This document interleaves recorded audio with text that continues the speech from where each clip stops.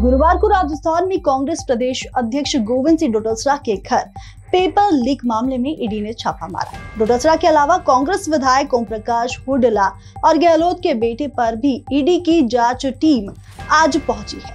ED ने पूछताछ के लिए राजस्थान के सीएम अशोक गहलोत के बेटे वैभव गहलोत को भी तलब किया है।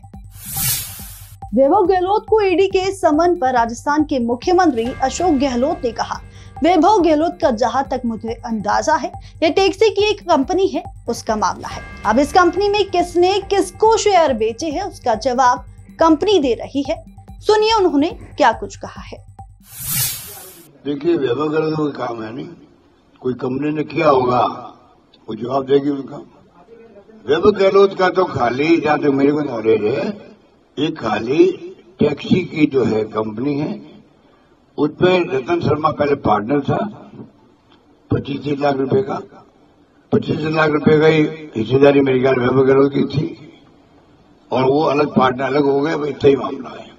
अब उस होटल के अंदर जो कंपनी है, उसमें शेयर कितने बेचे, किसको बेचे, कितने कितने बेचे, वो कंपनी जवाब दे रही है।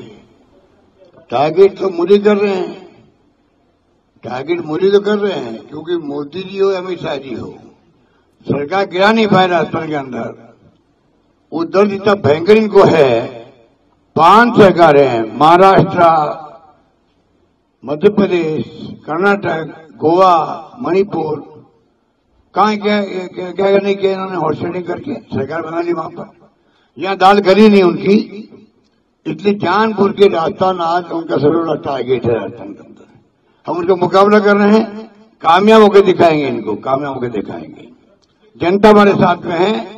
ईडी का दुरुपयोग करो सीबीआई का करो, कोई फ़र्क नहीं पड़ने वाला। और आज इन्होंने जो किया है, प्रदेश कांग्रेस कमेटी अध्यक्ष के ऊपर हमला किया है, जनता इनको पक्षेगी नहीं। मैं कह रहा हूँ, आपको जहाँ जहाँ ईडी गई है, मैंने एग्ज़ाम दिया कर्नाटका का आपको, बाईस बार हमले हुए वहाँ पर।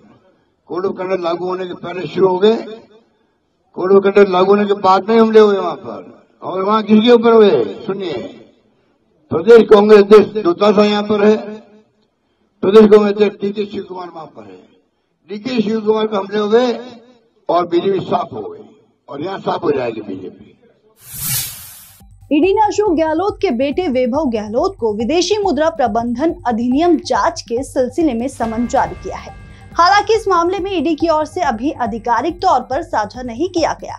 लेकिन ईडी से जुड़े अधिकारियों का कहना है कि ये जाँच मुंबई स्थित firm Titan hotels and resorts private limited से जुड़ी हुई है। बता दें कि केंद्रीय एजेंसी ईडी ने इस मामले में अगस्त और सितंबर में जयपुर, उदयपुर, मुंबई और दिल्ली में कई स्थानों पर छापेमारी की है। और फ़िलहाल अभी के लिए इतना ही। नमस्कार, मैं हूँ आपके साथ परिधि रघुवंशी। खबरों के लिए बने रहे मृदुभाषी के साथ।